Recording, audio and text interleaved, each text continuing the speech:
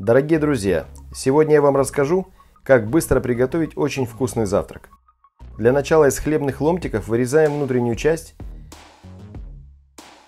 мелко нарезаем чеснок, зеленый лук и креветки.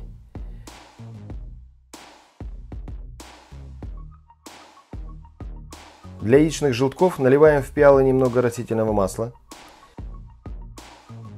В миску с луком и чесноком отправляем белки – пиалы с маслом переносим желтки.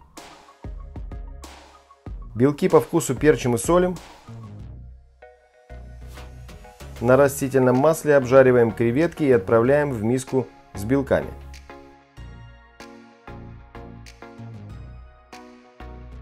На сливочном масле обжариваем с двух сторон хлеб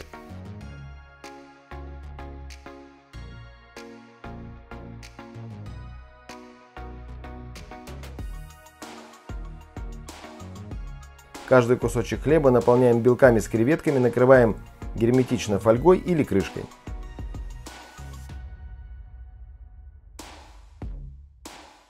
На аппетитные бутерброды выкладываем сверху желтки и украшаем зеленью. Королевский завтрак готов.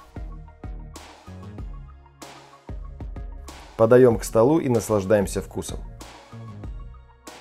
Приятного всем аппетита!